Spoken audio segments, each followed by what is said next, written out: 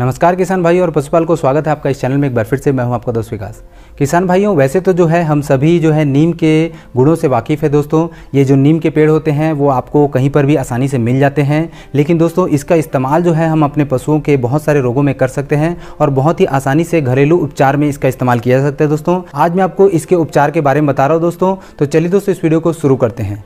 दोस्तों, अगर आपके पशु को किसी प्रकार की कृमि से समस्या है, कृमि रोग हो गया दोस्तों, चाहे आपके पशु के बछड़े हों या फिर जो बड़े पशु हैं तो आप जो है नीम के पत्तों का इस्तेमाल कर सकते हैं। आपको जो है लगभग 100 ग्राम नीम के पत्ते लेने दोस्तों, और उसमें जो है आपको नमक जो है मिलाना है लगभग 50 ग्राम, और पीस करके दोस्तों आपको उस पानी में मिला देना है जिसे आपके पशु पीते हैं। और इसी तरीके से दोस्तों आपको जो है लगातार दो तीन दिनों तक करना है, और दिन में दो बार पिलाना है दोस्तों, जिससे जो है आप अपने पशु के जो कृमि रोग है, उसको बहुत ही जल्दी ठीक कर सकते हैं। अगर आपके पशु को किसी प्रकार की जो मिल्क फीवर की समस्या है या उसके दूध की मात्रा बढ़ानी है तो आप जो है दोस्तों नीम के पत्तों से इसका इलाज कर सकते हैं। आपको जो है अपने पशु को रेगुलर मात्रा में जो है आधा से एक किलो जो है नीम के पत्ते खिलाने हैं दोस्तों, जिससे आप अपने पशु का तो दूध बढ़ा ही सकते हैं, साथ में उसे जो है दोस्तों मिल्क फीवर से भी बचा सकते हैं। और दोस्तों, अगर आपके पशु के शरीर में कहीं पर भी जूझ चिचड़, किलनी वगैरह हो गए तो भी आप जो है नीम के पत्तों का इस्तेमाल कर सकते हैं। नीम के पत्तों को पीस कर जो है दोस्तों उसका लेप जैसा तैयार करना है और उसे जो है पशु के शरीर पर लगा देना है दोस्तों,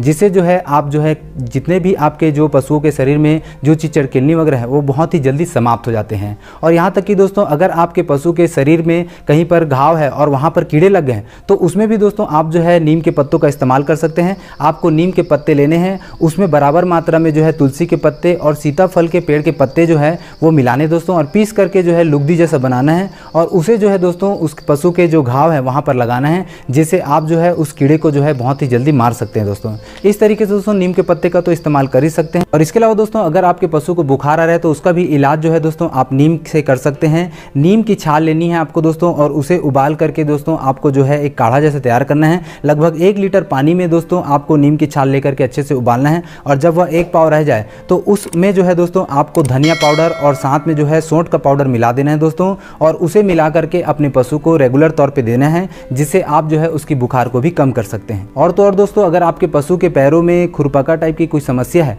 तो उसमें भी जो है दोस्तों आप नीम की छाल का इस्तेमाल कर सकते हैं। आपको नीम की छाल लेनी है। उसमें जो है बराबर मात्रा में बबूल की छाल और पलाश की छाल मिलानी है दोस्तों। और एक लीटर पानी में अच्छे तरीके से उबालना है और जब वह पानी एक पाव रह जाए तो उस पानी से जो है हमारे अपने पशुओं के पैरों को धोना है दोस्तों, जिससे जो है आप पशुओं के पैरों के घाव हो, चाहे खुरपका की समस्या हो, उसमें भी उसका इलाज कर सकते हैं। तो इस तरीके से दोस्तों नीम के पेड़ का इस्तेमाल हम अपने पशुओं के इलाज में बहुत ही आसानी से कर सकते हैं। तो ये है जानकारी दोस्तों आज की वीडियो में। आपको ये जानकारी कैसे लगी, कमेंट करके ज़रूर बताएँ। और चैनल पर अगर आप नए आए हैं तो को सब्सक्राइब कर लें ताकि ऐसी जानकारी आप तक पहुँच सके सबसे पहले। तो आज के वीडियो में इतना ही दोस्तों, धन्यवाद।